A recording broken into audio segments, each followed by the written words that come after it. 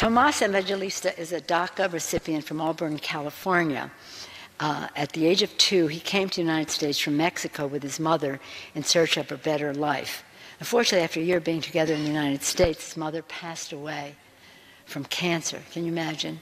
His grandparents took him in, and grew, he grew up in Northern California when he ran cross country and track at Placer High School. These American kids, it's just a beautiful story. Following his high school career, Tomas received an Associate of Arts in Social Science, and in 2014, he completed his Bachelor's of Arts in uh, degree. Today, he works with a nonprofit organization, Latino Leadership Council. He also intends to attend Lincoln Law School in Sacramento, California, in spring of 2018. Tomas co-founded California Dreamers with fellow DACA recipient Doris Romero. They seek to change the negative narrative surrounding immigration with facts.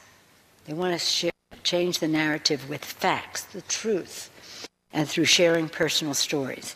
The ultimate goal is to encourage immigration reform and to establish a pathway to citizenship.